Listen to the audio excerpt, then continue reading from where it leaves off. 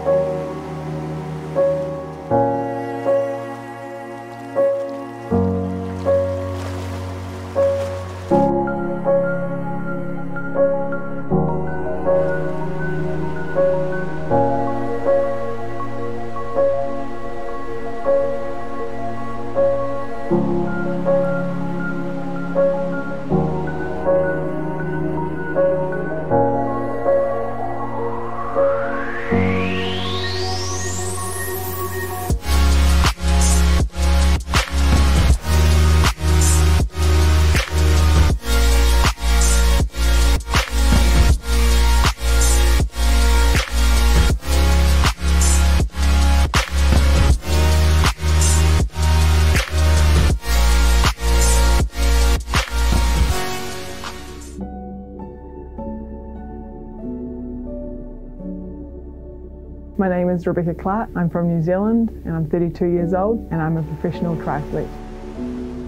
I was a swimmer throughout college. After university, I decided to give an Olympic triathlon go with my dad carried on to doing national events and then on to world champs as an age grouper where I placed first. The next year I decided to move up to the elite rank and then I carried on to the long distance of half and full Ironmans. I enjoy triathlon because it allows me to test my limits, push my body as far as it will go.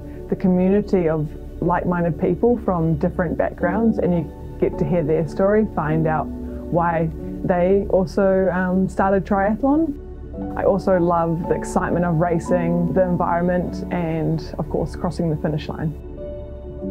I've been pro triathlete for about eight years now four years in the elite ITU circuit and now four years in the long distance circuit. There's been ups and downs. It's definitely harder in reality than I thought it was before I became a pro triathlete. Looked at it as like a glamorous lifestyle that you get to travel around for free and get given stuff. In reality, it is really hard to get sponsors, uh, especially at the start when you don't have the results. There's trips you have to fund yourself. Uh, it's an expensive sport.